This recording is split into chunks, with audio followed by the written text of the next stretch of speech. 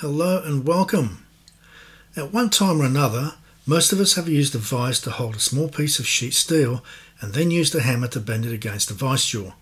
Although this works, it can damage the vise or the jaws, and the vise jaws can damage the workpiece. A workaround has been to use steel angle false jaws to hold the workpiece.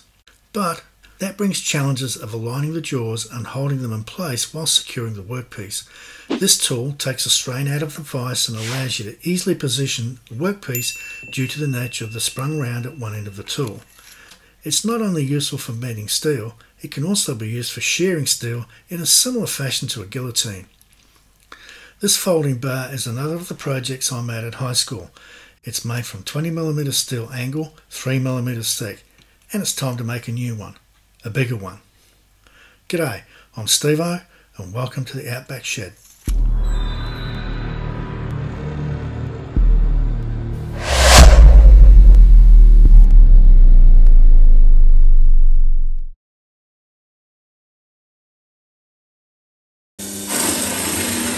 I'm going to make this bar larger than the other one. I'm using 50 by 50 steel angle, 5mm thick.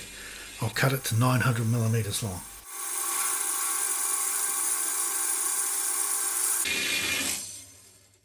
I'll use the bandsaw to chamfer both face ends to 45 degrees.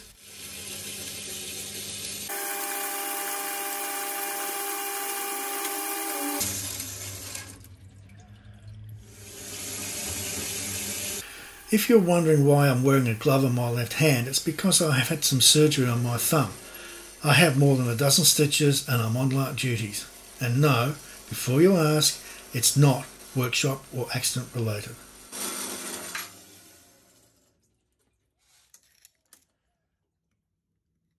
I have a piece of aluminium bar stock 90mm in diameter and it will do nicely as a former for the circular end. The circumference of the former is a little over 280mm, but the tight corners will need a little more, so I'll allow for this by making a 300mm allowance in the bar for the curve.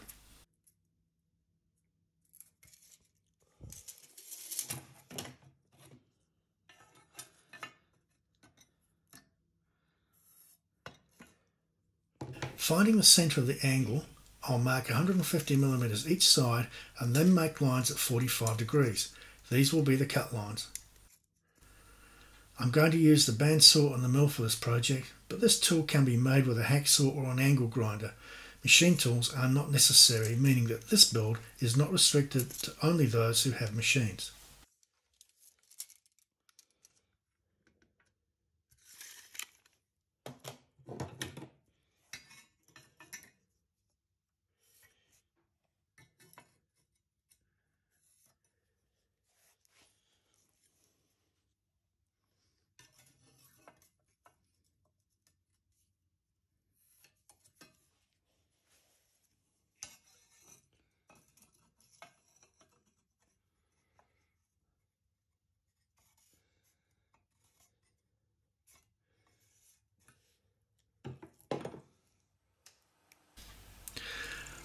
I'll adjust the vice swivel base to 45 degrees, then cut one of the angles for the top. Then I'll swivel the base the opposite way to cut the angle for the other end. The graduations on the vice base are close enough for this build. Angle block accuracy is not required.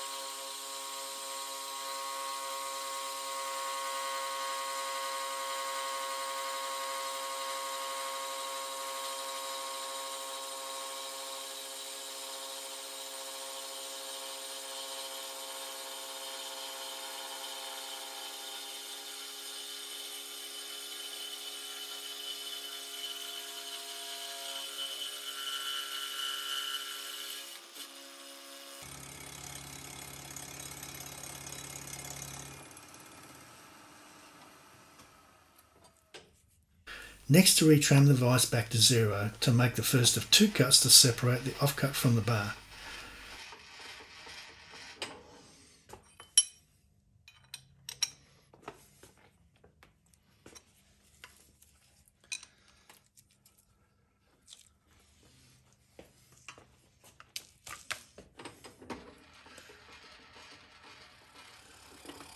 The 516 end mill works well, but the bar does show a little vibration.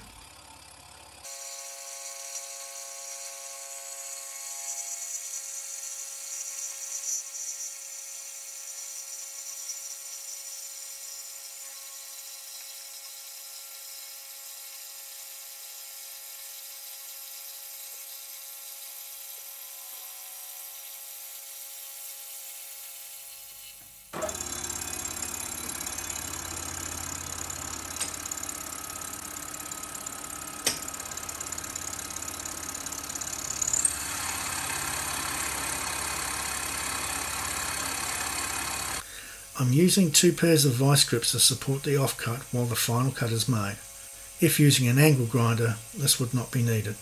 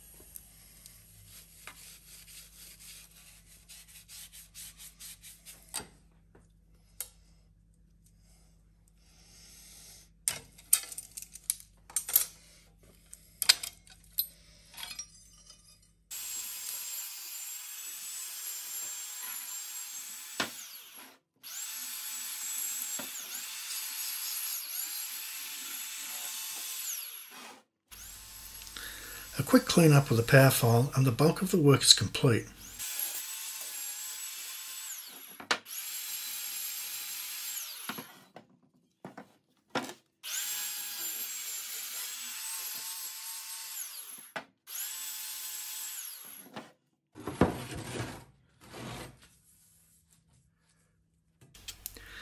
I can't recall if I used heat to bend the small folding bar, it was a long time ago, but this bar is 5mm thick and the web is 50mm, so it's going to need some heat.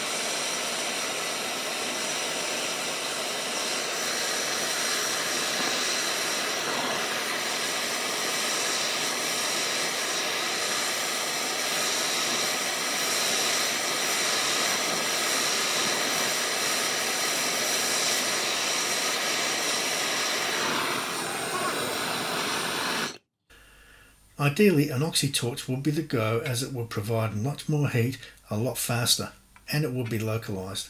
As this is the only torch I have, it will just have to do.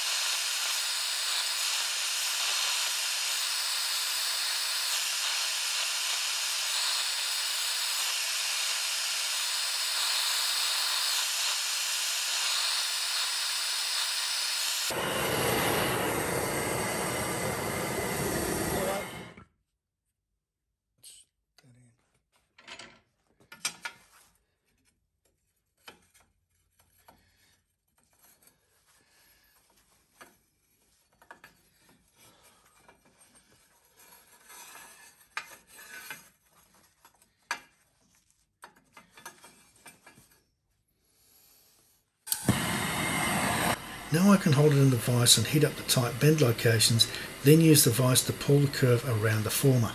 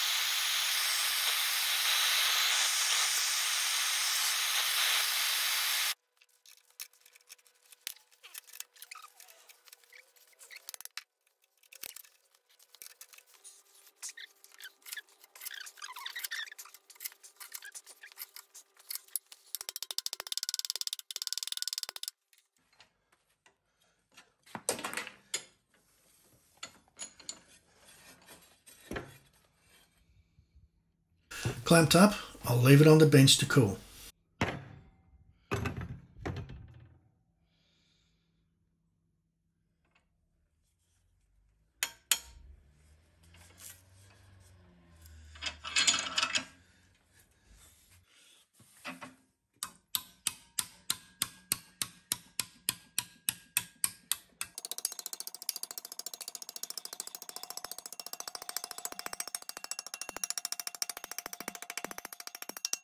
This is a right angle bend in 2mm sheet. They're going to be hammer marks, but I can reduce these by using the leaves as a compression vise.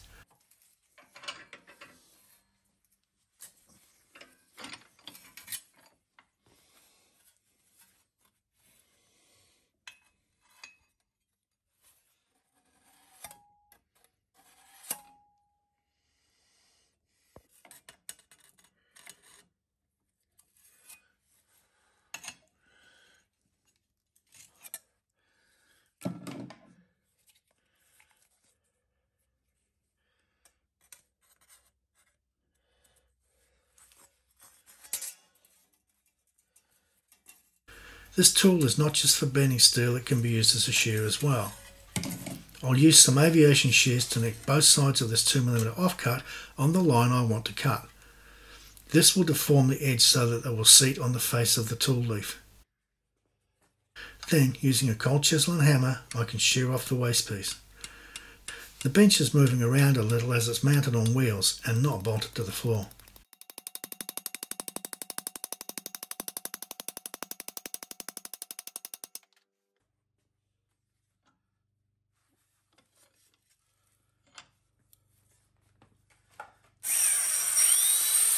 The cut end will need a clean up with an angle grinder or file. I'll use a power file.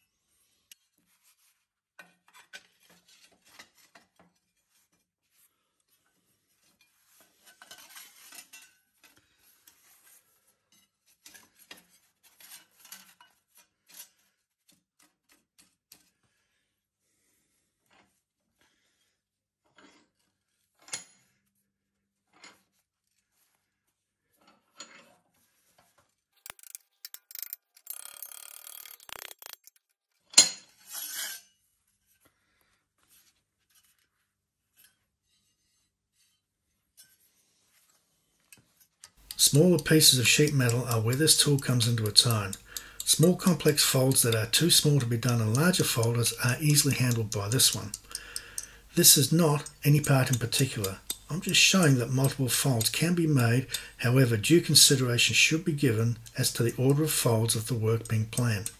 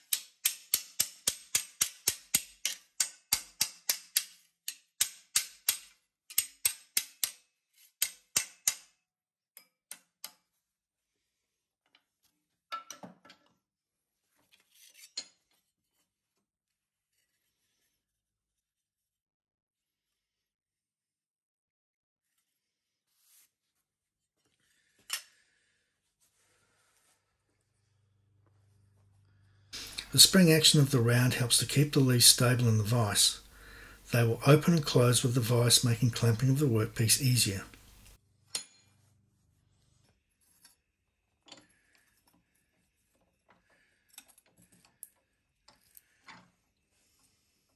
Between the small and large folders, most foreseeable needs should be covered. The small folder was a high school project back in the day and it's been in my toolkit ever since. To be clear, this is not a precision tool. It should be considered the same as an anvil would be. That is, it is used in conjunction with a hammer. It can be made with rudimentary tools and it doesn't need a machine shop. It is not a pan brake, nor is it a guillotine, but it will do similar work to those. This build is useful for small items where the larger tools may not be the best choice or where access on the workpiece is restricted. This build cost less than $20 in material and took only a few hours to make. Its usefulness far outweighs its cost and time needed to make it. This folding bar has found many uses over the years. I'm sure that the larger one from this build will also find good use. As always, thanks for watching. I hope you liked this video and found it of value. If so, please consider subscribing and liking. Be productive, be creative, but most importantly, be safe in your shed. Catch you next time.